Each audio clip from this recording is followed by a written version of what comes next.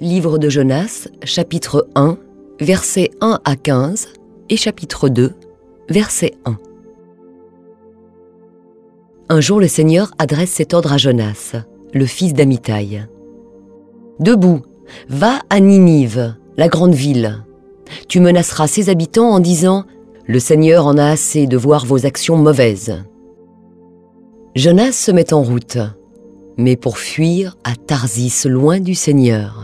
Il arrive à Jaffa, là il trouve un bateau qui part pour Tarsis, il paye son voyage, puis il monte dans le bateau pour aller avec les marins à Tarsis, loin du Seigneur. Mais le Seigneur lance sur la mer un vent violent, et la tempête est si forte que le bateau risque de se casser. Les marins ont peur, chacun crie vers son Dieu. Ils jettent à la mer tous les objets qui sont dans le bateau pour le rendre plus léger. Pendant ce temps, Jonas est descendu au fond du bateau, il s'est couché et dort profondément. Le capitaine du bateau s'approche de lui et lui dit ⁇ Quoi? Tu dors?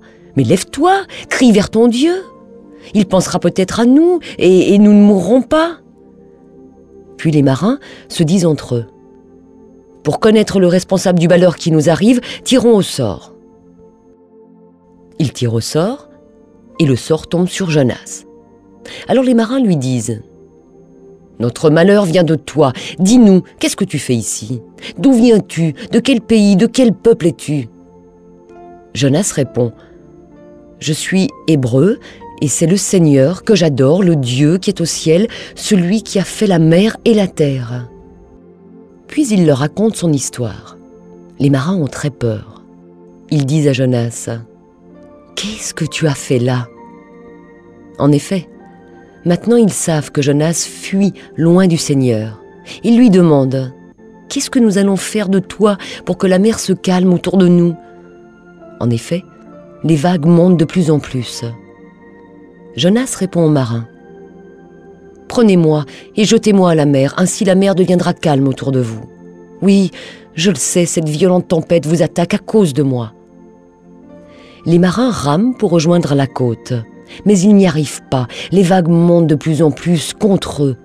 Ils prient le Seigneur et disent ⁇ Ah Seigneur, ne nous fais pas mourir à cause de cet homme, ne nous rends pas non plus responsables de la mort d'un innocent, en effet c'est toi Seigneur qui as fait ce que tu as voulu. ⁇ Puis ils prennent Jonas et ils le jettent à la mer. Alors la colère de la mer se calme.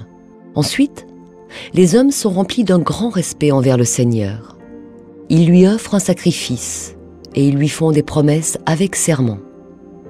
Le Seigneur envoie un grand poisson pour avaler Jonas.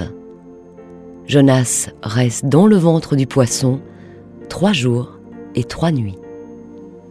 Dans le ventre du poisson, il prie le Seigneur, son Dieu. Il dit, Je suis très malheureux. Alors je crie vers toi, Seigneur, et tu me réponds. De la profondeur de la mort, j'appelle au secours et tu entends ma voix. Tu m'as jeté dans un trou profond au cœur de la mer, et l'eau m'entoure. Toutes tes vagues et toute ton eau tombent sur moi. Et moi je dis, tu m'as chassé loin de tes yeux. Pourtant, je veux revoir ton temple saint. L'eau m'arrive jusqu'au cou. La mer m'entoure. Des herbes s'enroulent autour de ma tête je suis descendu jusqu'au pied des montagnes. Je suis dans le monde des morts, et les portes sont fermées à clé derrière moi, pour toujours. Mais toi, Seigneur, mon Dieu, tu me fais remonter vivant de ce trou. Seigneur, mon Dieu, je vais bientôt mourir. Alors je me souviens de toi, Seigneur, et ma prière monte près de toi dans ton temple saint. Ceux qui adorent les faux dieux n'ont aucune chance d'être sauvés. Mais moi, je chanterai ta louange, je t'offrirai des sacrifices. Je tiendrai les promesses que je t'ai faites. Oui, c'est toi qui sauves, Seigneur. Alors, Seigneur, donne cet ordre au poisson, rejette Jonas sur la terre. Et aussitôt, le poisson obéit. Une deuxième fois, le Seigneur dit à Jonas, Debout, va à Ninive, la grande ville, annonce-lui le message que je te donne.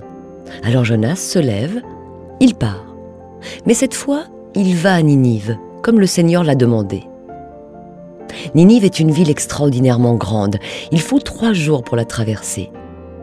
Jonas entre dans la ville, il marche pendant un jour entier. Il annonce aux gens Dans 40 jours, Ninive sera détruite. Aussitôt, les gens de Ninive croient à la parole de Dieu.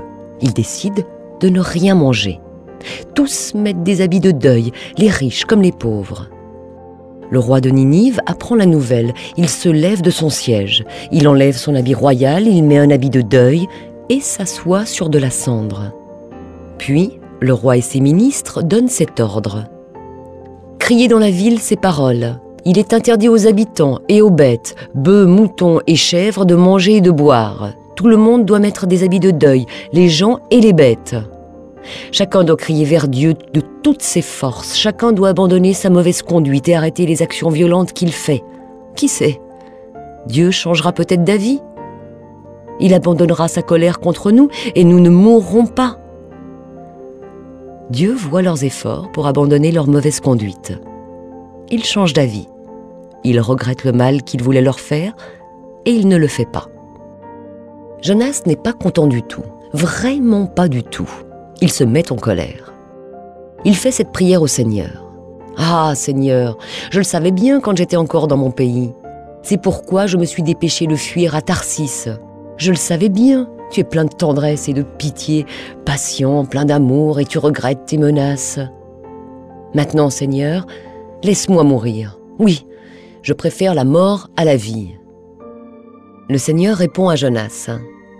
Est-ce que tu as raison de te mettre en colère? Jonas sort de la ville et il s'arrête à l'est de Ninive. Là, il se construit un abri et s'assoit dessous à l'ombre. Il veut voir ce qui va se passer dans la ville. Alors, le Seigneur Dieu fait pousser une plante au-dessus de Jonas. De cette façon, il aura de l'ombre et sera guéri de sa mauvaise humeur.